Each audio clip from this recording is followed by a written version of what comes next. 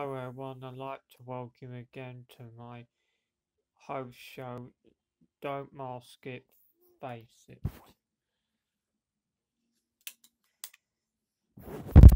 In today's video I'm going to talk about my two closest friends in the world, Chai P and Saskia.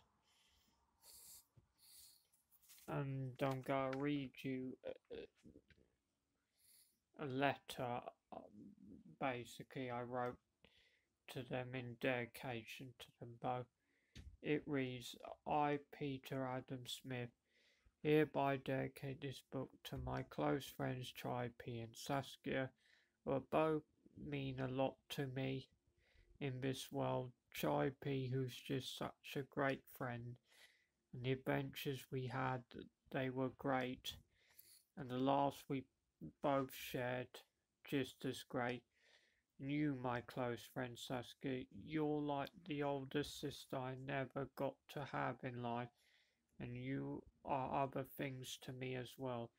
I wanted you both to know you are my closest friends, and I love you both very much. Your close friend Pete. Well, folks, there you have it. That's my letter dedication to them both for my book which is entitled Leopard Girl, by the way. I finished it.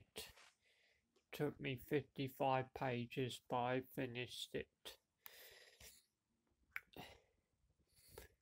So anyway, with Chai P, I basically done Duke of Edinburgh with him. I went to Poland with him where we climbed a mountain together.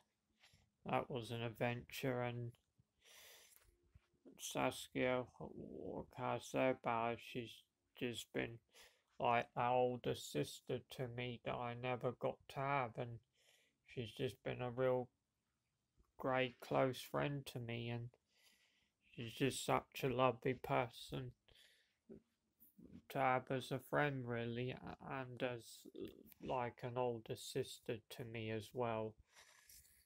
Which I also like to call my unique sister as well.